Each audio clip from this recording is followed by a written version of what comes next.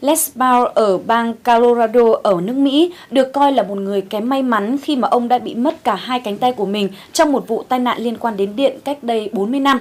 Tuy nhiên thì mới đây một thí nghiệm mang tính đột phá đã mang tới cho người đàn ông này một hy vọng mới, đó là việc ông có thể điều khiển các cánh tay giả chỉ bằng cách nghĩ về việc cử động chúng.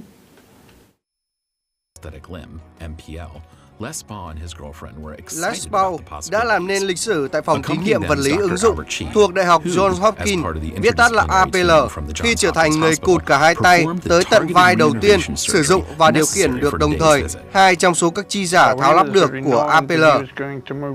Ông còn tham gia một nghiên cứu do APL tài trợ nhằm đánh giá sâu hơn nữa tính hữu dụng của các chi giả tháo lắp được.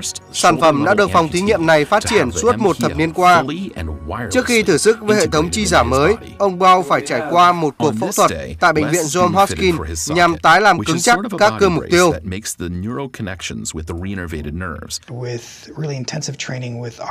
Đây là một dạng phẫu thuật tương đối mới, giúp phân bổ lại các dây thần kinh, từng kiểm soát cánh tay và bàn tay.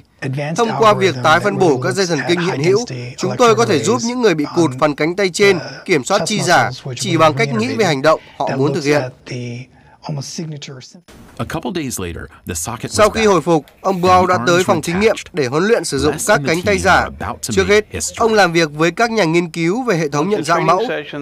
Trong đó, các chuyên gia đã sử dụng các thuật toán nhận dạng mẫu để nhận diện các cơ riêng rẽ đang co rút, việc chúng giao tiếp với nhau tốt tới mức nào, cũng như biên độ và tần suất của chúng. Họ thu thập các thông tin rồi biến nó thành các cử động thực sự bên trong của một chi giả.